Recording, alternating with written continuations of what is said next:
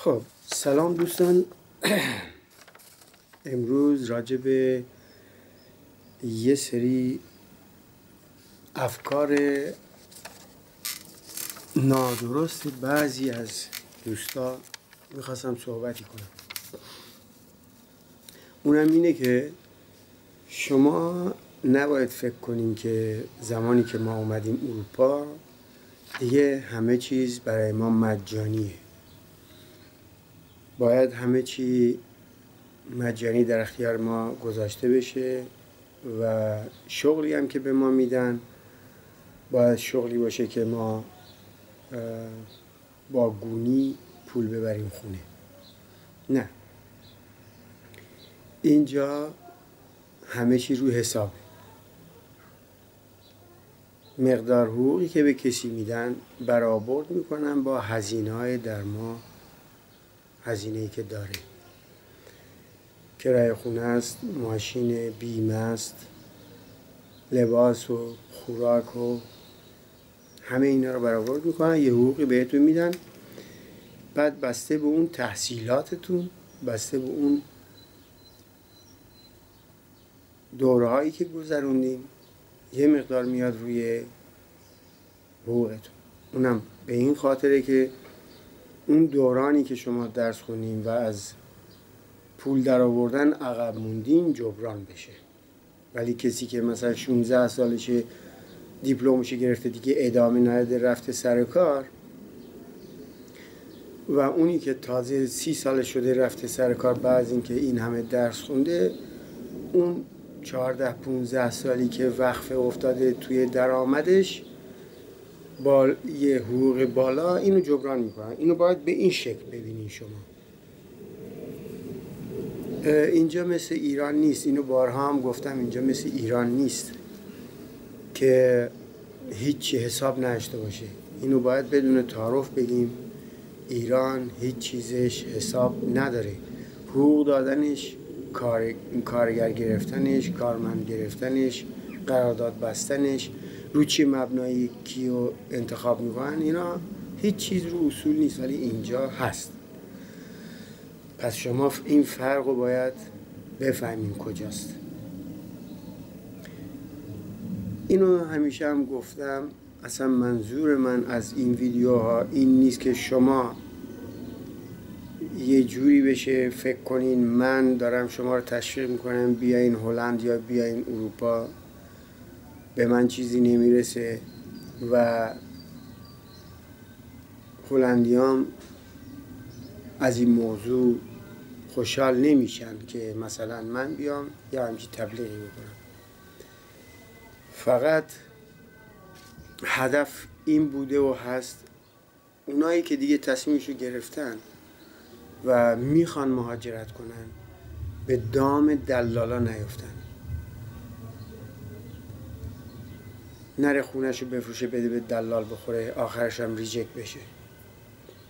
این هدف منه. وگرنه به قول مثالی که هلندیا می‌زنن میگن که یه دونه گنجش توی دستت بهتره این بهتر از اینه که ده تا گنجش تو هوا باشه و فقط نگاش کنی.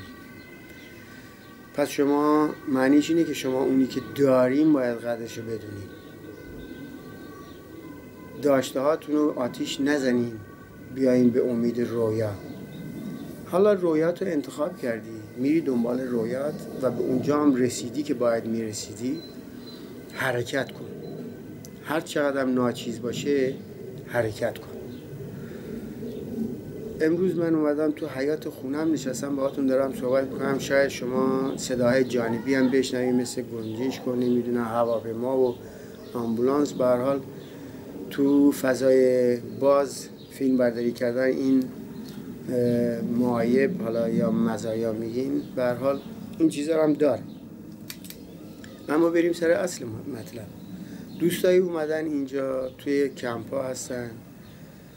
خیلی با من تماس می‌گیرن و تازه کار می‌کنن. اینو باید بگم اولش من بنگاه کاریابی ندارم که شغل برای کسی پیدا کنم. ثانیا اگه یه چیزی پیدا می‌کنم از روزنامه از تبلیغاتی که شده تو تلویزیون و اینا شماره تلفن پیدا می‌کنم میدم. تازه از اونجا درد سر من شروع میشه. تازه ایشون یه آدرس یا شماره تلفن خواستن حالا من اینو پیدا کردم. حالا باید خودم هم زنگ بزنم به اون طرف که اون کار رو ردیف کنم براشون خب هر کاری هم که نمی‌تونن بکنن چون اون حقوقی که به کسایی که اینجا هلندی هستن یا اصلا ملیت و هلندی دارن نمی‌تونن به اینا بدن چون هنوز ثابت شده نیستن. هنوز اکثرشون هم که هنوز کد ملی ندارن. پس اگه من کاری رو پیشنهاد کردم کاریه که به این چیزا اصلا نیازی نیست. شما می‌تونین مثلا روزنامه پخش کنین. در ما 100 یا 150 یورو از زیرش در بیاریم این پخش کردن روزنامه اگه زرنگ باشید تو نیم ساعت تمام میشه.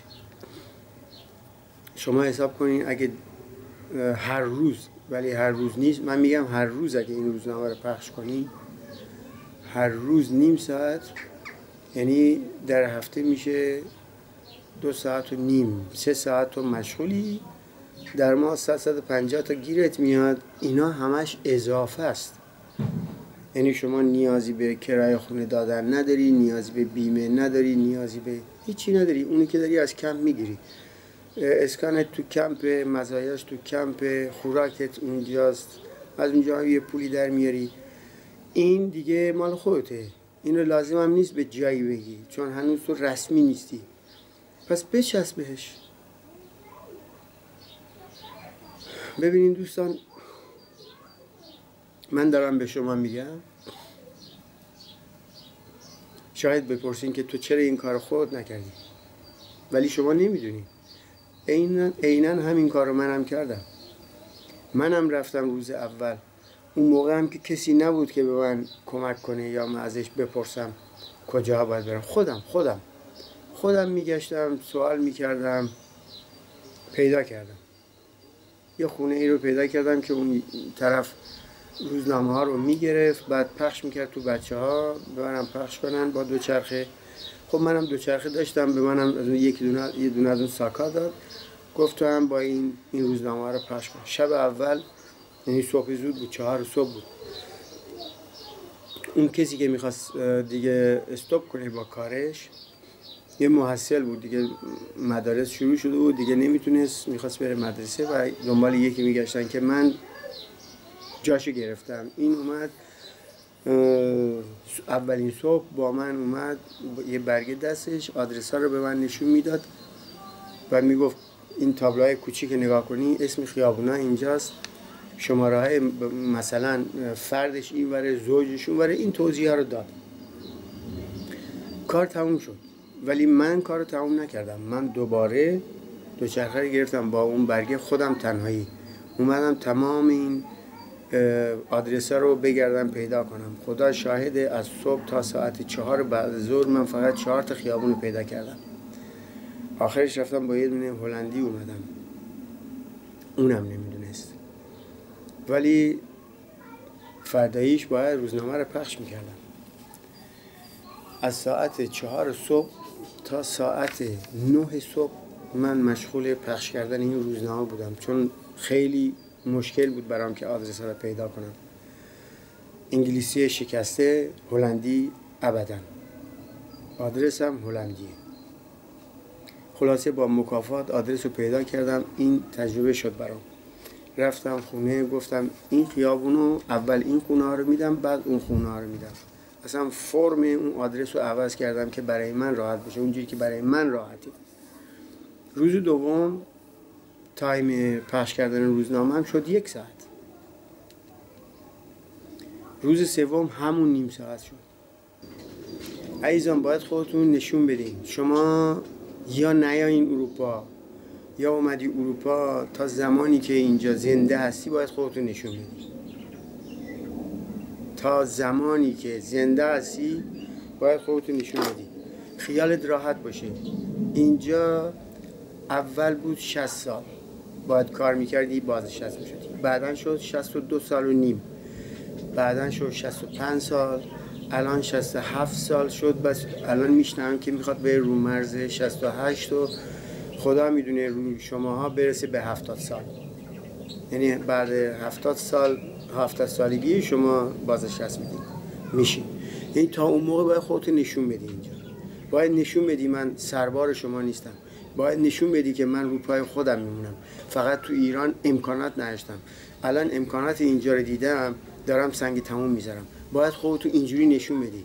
نه اینکه بگی آخه این کاریه که شما پیشنهاد کردی این کار بچه هاست کار نمی‌دونم محصل هاست مگه تو کی هستی؟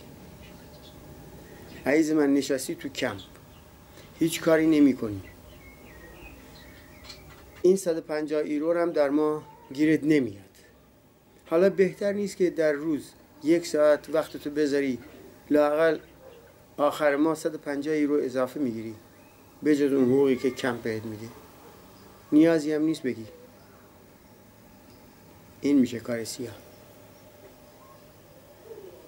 یعنی کسی هم مثلا اینو ازت نمی‌خواد. به خاطر اینکه شما هنوز کد ملی ندارین. پس ایزان به این خاطر این اروپا که همه چیز مفت بهتون بدن و اینم بدونین که تا زمانی که تو کمپ هستین روز خوش شماست.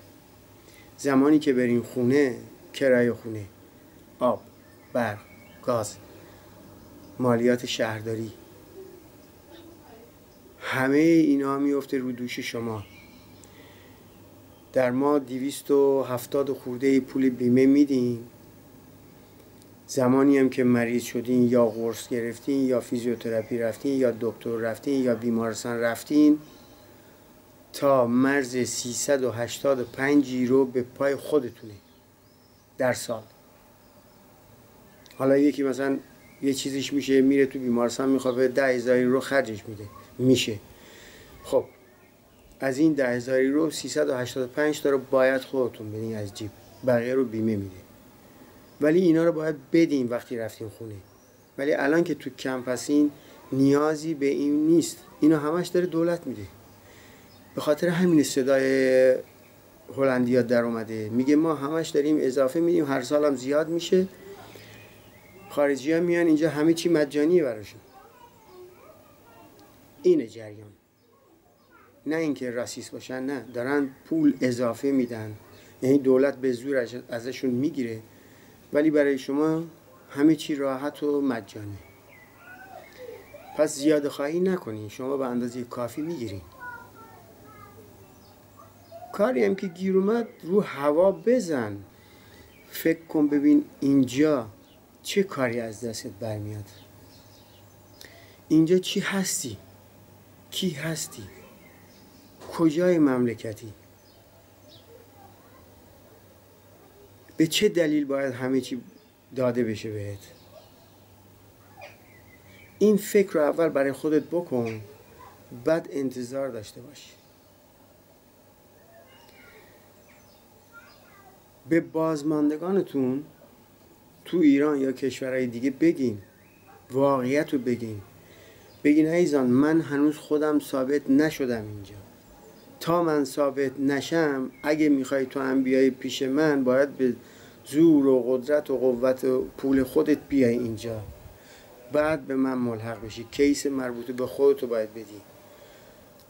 من میشنوم خانواده هایی با من تماس می‌گیرن میگن من می‌خوام بیام دیگه لازم نیست کیس بدم دیگه. شوهرم اونجاست گفتم کی اومد شوهر؟ چهار ماه پیش اومد. گفتم خانم عزیز هنوز شوهرت اینجا کاری نیست. شما می‌خوایم بیایم بهش ملحق بشین. آره می‌تونی بیای. اما تو هم یه کیس مربوط به خودتو داری. فقط بعدها میگین که ما زن شوهریم شما رو توی اتاق می‌ذارن. توی کم می‌ذارن. اما حواستون رو جمع کنین. همه چی به این سادگی نیست. بخصوص شمایی که تو ایران خونه دارین زندگی دارین کار دارین ماشین دارین فقط چشمه هم چشمی هم در کنارش دارین. اون آخریشو بذارین کنار. داشته هاتون رو نگه دارین. صبح یکی به من زنگ زد. دو تا خونه داشتم فروختم. این دادم اونو دادم استفاده دادم. پول همه رو دادم به کارگزار. آخرش هم ریجکت شدیم. نمی‌دونیم چی کار کنیم. خب به نظر شما این عاقلانه است که من اونی که دارم از دست بدم برم دوباره دنبالش که شاید یه روزی به دست بیارم. ایزان همون خونه که تو داری همون سندی میشه برای ویزات چجوری تو اونو میفروشی؟ شما سندش رو باید ببری توسط سند اون خونت ویزا بگیری. بعد اونو میفروشی میدی به یکی بخوره. ویدیوی بعدی من راجع به سیستم امدادرسانی و رسیدگی بیماران و بیمارستان و دکتر و دعوت هایی که خود دکترها ازت به عمل میارن. به فکر چیزهایی هستن که تو اصلا به فکرش نیستی. در رابطه با این یه فیلمی هم می‌ذارم. تا اون موقع شما را به خدا میسپارم. خدا حافظ